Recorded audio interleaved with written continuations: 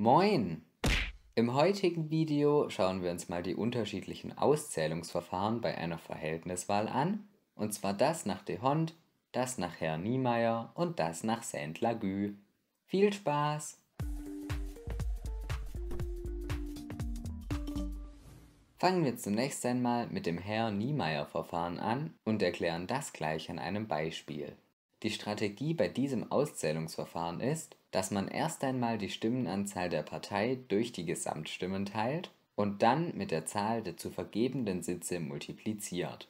Haben wir also folgende Verteilung: Bei der Wahl hat Partei A 416 von 1000 Stimmen erhalten und das wollen wir auf 10 Sitze verteilen, dann berechnen wir die sogenannte Quote die wäre dann 4,16.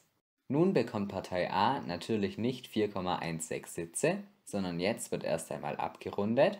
Bei diesem Verfahren wird ausschließlich abgerundet, also sie erhalten 4 Sitze. Berechnen wir jetzt noch die Quote von Partei B und C, dann kommen wir auf 3 und 2 Sitze für die Parteien. Stand jetzt sind aber nur 9 von 10 Sitzen besetzt, deshalb schauen wir jetzt auf die Parteien mit der höchsten Nachkommastelle in unserem Fall Partei C, und die erhält dann den letzten weiteren Sitz, sodass die Sitzverteilung am Ende des Tages so aussieht. Im Zweifelsfall werden hier also eher kleine Parteien bevorzugt. Anders aussehen tut das beim Höchstzahlverfahren nach de Hond.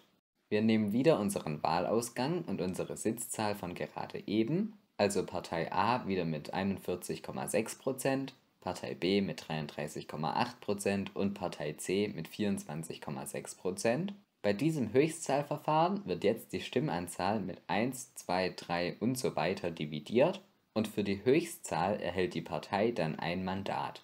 Also teilen wir die Stimmen der Parteien mit den Divisoren 1 bis 5, dann erhalten wir diese Tabelle.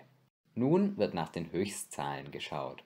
Höchste Zahl ist hier ganz klar die 416 von Partei A Dafür erhält Partei A also den ersten Sitz.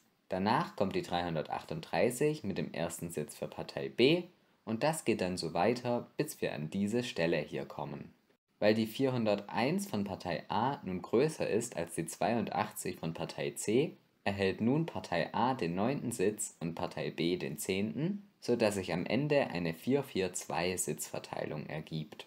Hierbei werden also eher die großen Parteien bevorzugt Jedoch ist es ein einfach anzuwendendes Verfahren und alle Mandate werden in einem Gang vergeben. Was jetzt noch übrig bleibt, ist das Verfahren nach Saint-Lagu, das Divisorverfahren mit Standardrundung, das übrigens auch heute das Auszählungsverfahren bei Bundestagswahlen ist.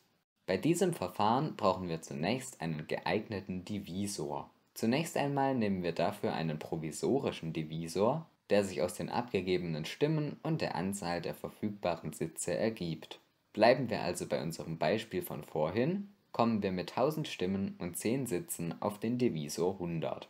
Nun werden die Stimmen durch diesen Divisor geteilt, sodass wir wieder auf eine Quote kommen. Partei A hat also eine Quote von 4,16, Partei B von 3,38 und Partei C von 2,46. Da dieses Verfahren Divisorverfahren mit Standardrundung heißt, wird hier also normal gerundet, in unserem Beispiel sind aber eh alle Nachkommastellen kleiner als 5, woraus sich diese Sitzverteilung ergibt.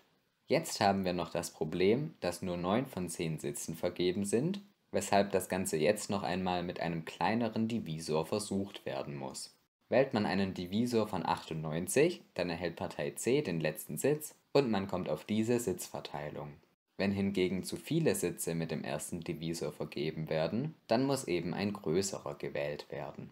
In einem anderen Video haben wir uns die unterschiedlichen Wahlsysteme schon angeschaut, das findet ihr jetzt hier links eingeblendet. Ansonsten lasst gerne einen Like oder ein Abo da, wenn euch dieses Video gefallen hat und schaut noch in der Videobeschreibung oder auf unserem Instagram vorbei. Und dann war's das von unserer Seite. Tschö!